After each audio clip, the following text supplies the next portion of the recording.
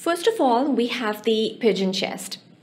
Pigeon chest or keel chest is a condition in which there is an outward projection of the chest wall. Also known as the pectus carinatum, this condition has a prevalence of 1 in 1500 children, affecting the male population more. The underlying cause is usually an overgrowth of bone at the junction of the sternum with the ribs, resulting in the development of this condition. On the other hand, we have the excavation of the chest wall, which is known as the funnel chest. Basically, it's a sunken chest.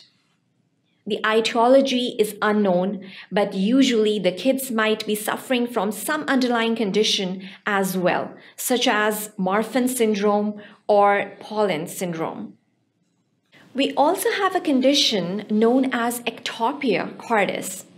Usually the heart lies below the sternum, but in this condition of the heart, it is lying above it, totally uncovered on the surface.